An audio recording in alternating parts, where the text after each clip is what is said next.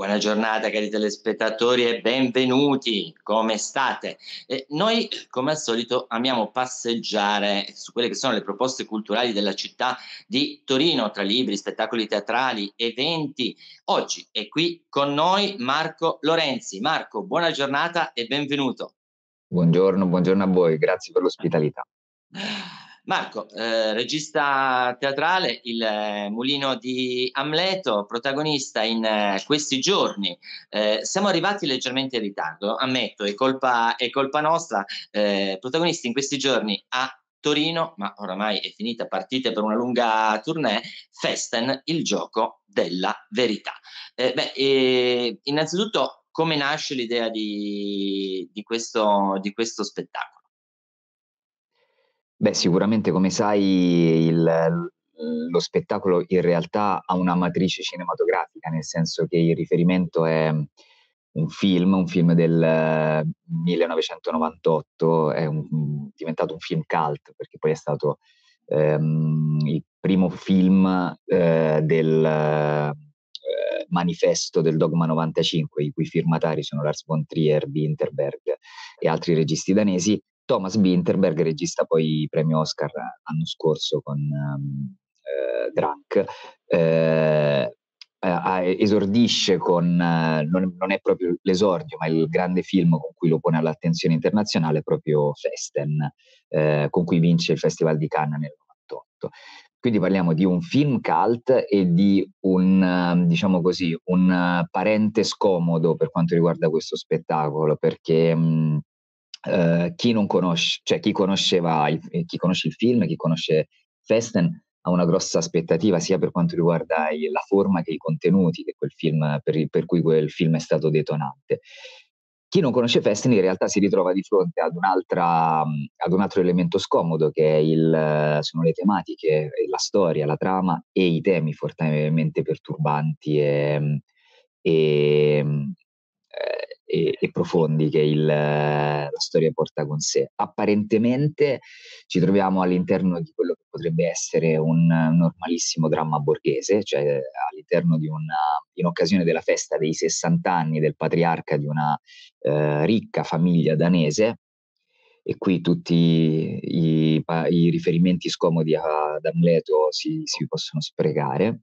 E quindi eh, ricca fe- ehm, festa di compleanno per i 60 anni di Helge, Helge Klingenfeld, si riunisce tutta la comunità legata intorno ad Helge, dalla famiglia, quindi la comunità più piccola, fino ad una comunità allargata fatta di altri ospiti, di ehm, ospiti legati, conoscenze, ospiti legati al mondo del lavoro di Klingenfeld di Helge, eh, suoi dipendenti.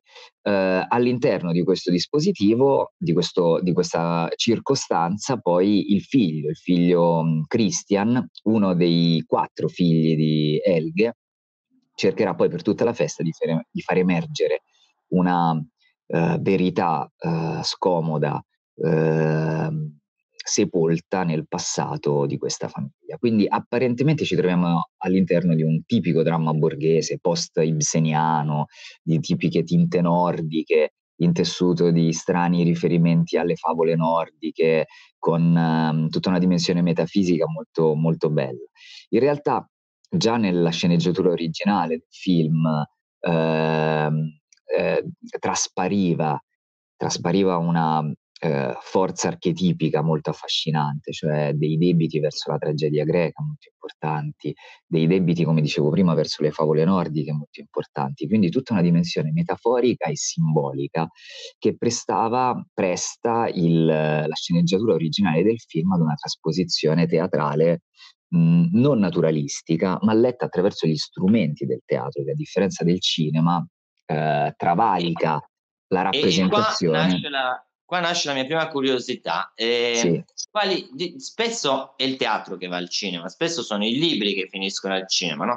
In, eh, a volte addirittura sono i giochi. Eh, che, i, che, finiscono al cinema. Eh, in questo caso è il cinema che finisce al teatro. Eh, dal punto di vista registico, quali, quali sono le, le, difficoltà, anche le sfide più belle che hai dovuto affrontare? Guarda, io mh, ho scelto, ho, mh, la scelta, anzi la libertà anche che ci siamo presi è stata quella di trattare Festen come se fosse un classico teatrale vero e proprio. Appunto, eh, liberarci dal debito di dover, eh, liberarmi dal debito di dover rappresentare Festen eh, così come era, cioè quindi in un modo naturalistico, anche perché se no esisteva già il film che è magnifico e il cinema avrebbe perso, il teatro avrebbe perso rispetto al, al precedente cinematografico, ma in realtà trattarlo esattamente come tratto qualsiasi mh, classico teatrale, quindi eh, partire dai temi fondamentali e da, sì, dai temi e da che cosa racconta eh, la sceneggiatura di Festen e poi trasportarle in una dimensione linguistica e immaginaria tipica del teatro.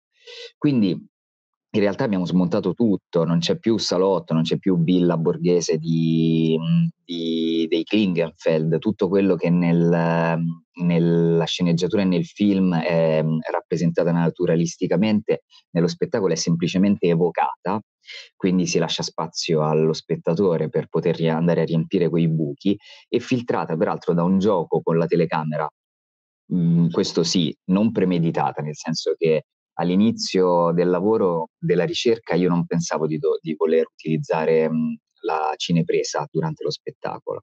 Poi in realtà andando a partire, eh, partendo proprio dai temi di Festen, perché poi come ti dicevo prima, Festen ha dei debiti eh, verso la tragedia greca molto importanti, cioè affronta delle domande molto molto molto contemporanee, cioè chiede agli spettatori, in primo luogo a noi artisti, eh, di fare un viaggio di conoscenza attraverso alcune domande fondamentali, ovvero qual è il nostro rapporto con il potere, qual è il nostro rapporto con la verità e come avrebbe detto Anna Arendt, il nostro rapporto con il potere influenza il nostro rapporto con la verità.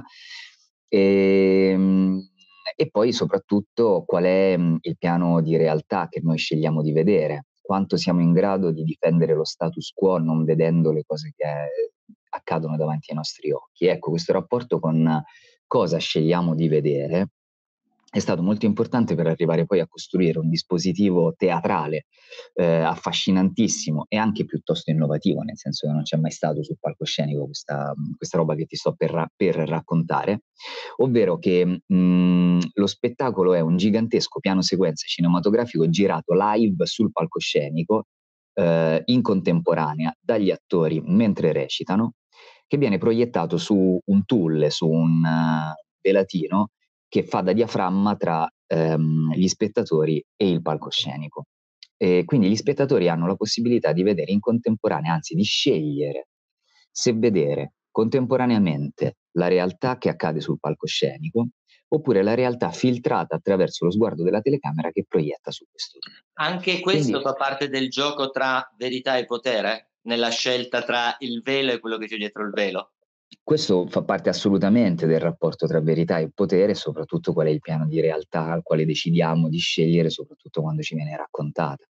E lo spettatore si ritrova a desiderare che quel telo, che quel telos immanente venga poi strappato a un certo punto, no? questo velo di Maya anzi venga strappato. E diciamo che mh, nel momento in cui Christian, il protagonista, il figlio del festeggiato, riesce finalmente a strappare questo gigantesco eh, tulle, questo gigantesco diaframma, sostanzialmente è il momento in cui anche lo spettatore non ce la fa più di dover di trovarsi di fronte a questa scomoda, scomoda scelta. È anche un modo per attivare lo spettatore teatrale, cosa che altra differenza, cosa che a teatro è possibile. Ehm, chiamare, chiamare, in, chiamare direttamente a testimone del dispositivo e di quello che sta accadendo sulla scena, a differenza del cinema. No? Ecco, questo doppio gioco eh, è sicuramente uno degli allontanamenti più forti, dalla, oltre poi all'adattamento del testo, eccetera, eccetera. Però questo sicuramente è qualcosa che al cinema non avrei potuto fare e invece a teatro sì. Eh, altro tema di attualità, eh, quanto tocca eh, la figura del padre, della paternità all'interno di questo rapporto eh, tra verità e, e, potere? Guarda, ehm, oppure più che la paternità, l'adultità. Potremmo forse allargarci, no? Il mondo che i giovani ricevono dagli adulti. Una delle cose che mi tocca profondamente di Festen è che il termine mm, amore eh, all'interno della, del nido del nido disfunzionale di Festen eh, è una parola mh, abusata, come poi accade anche fisicamente Festen che ha attraversato dall'abuso. È una parola abusata perché dietro la parola amore si c'era la parola manipolazione. Quindi utilizzando amore, ehm, i, quattro, i, quattro, fratelli di Festen eh, non sono cresciuti in maniera del tutto diversa, ognuno di loro ha eh, collezionato una serie di, eh, di impossibilità a diventare adulti a loro volta e quindi di succedere al padre come magari potrebbe o dovrebbe essere cosa buona e giusta. Ed è anche il motivo per cui in questo giorno speciale dei 60 anni di Elghe si consuma un campo di battaglia fondamentalmente, in cui finalmente è arrivato il momento della resa dei conti, in cui il grande dittatore, citando, citando un, altro, eh, un altro precedente cinematografico, viene messo in discussione e finalmente al grande dittatore precedente ehm, accade una rivoluzione. Ecco, la statua del dittatore viene abbattuta, no? E fragorosamente e rumorosamente. Poi a noi e agli spettatori resta, eh, a noi spettatori, ma anche agli artisti sul palcoscenico, resta ehm, la domanda il dubbio se proprio questo, questa educazione, questa educazione in cui l'amore è il grande assente no, della crescita di, questi, di questa comunità, non, non, è il cemento di questa comunità, la comprensione non è il cemento di questa comunità. Eh, una volta che il dittatore è stato deposto, il padre, il vecchio padre è stato ucciso, eh, ci ritroveremo poi semplicemente di fronte ad un processo circolare per cui il prossimo re sarà esattamente identico a quello precedente e continuerà così come sempre Infatti l'ultima battuta di Festen è la madre che dice io resto qui. Ed essendo la madre poi, secondo me, il grande simbolo del male eh, all'interno di quella, della storia di Festen, ovviamente, eh, eh, certo. trovo abbastanza inquietante che lei, invece, eh, sapendo tutto, non viene espulsa dalla comunità. Ma è simbolico, ovviamente. È il male che resta qui tra noi. Allora, eh, qual è la scena più difficile? Ma perché se mi posso permettere, è importante eh, accettare che esiste per poterlo superare, il male. Invece in un contesto borghese come quello di Festen, alto borghese, eccetera, cioè in cui scegliamo di vedere sempre da un'altra parte, ehm, è impossibile affrontarlo. Viene messo sotto il tappeto, come si usava dire una, una volta. Eh, Abbiamo anche il tappeto in Festen, infatti. Eh, vedi, ehm, il, qual è la scena dal punto di vista registico che ti ha fatto penare eh, di più, su cui sei stato più, più combattuto?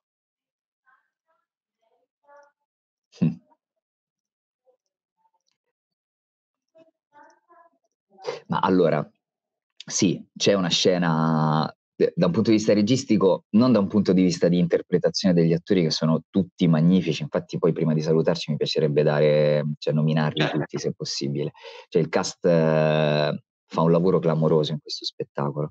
Da un punto di vista tecnico, devo dire, eh, c'è un momento esattamente proprio poco prima che mh, mm, Christian eh, riesca ad abbattere questo diaframma, questo telo, eh, il tulle eh, poco prima che riesca ad abbatterlo e c'è un momento molto complicato in cui Christian, il, il protagonista, si ritrova eh, in proscenio eh, e l'attrice che interpreta sia eh, la, la, gemella di Christian, che in realtà è uno spettro perché si è suicidata anni prima, ma anche la cameriera, si trova nel bagno, in tutto un altro posto della, della scena, dietro un muro, eh, in una ricostruzione naturalistica di un bagno, e loro parlano attraverso la tele, grazie alla telecamera che fa sì che lui riesca a parlare con la faccia della, dello spettro della sorella gigantesca alle sue spalle. Quindi loro non si sentono, non si vedono e tutto deve accadere con un,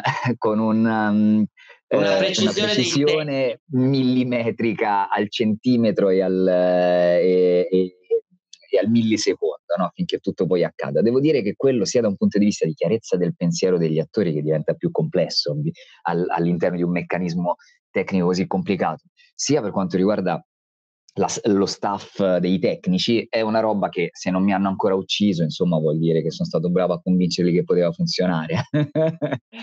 Marco, allora noi siamo oramai in conclusione. A questo punto sei stato a Torino dal 13 alle 15 al Teatro Astra con, i, con la, gli attori. Eh, dove andrete adesso in tournée? Dove vi si potrà trovare?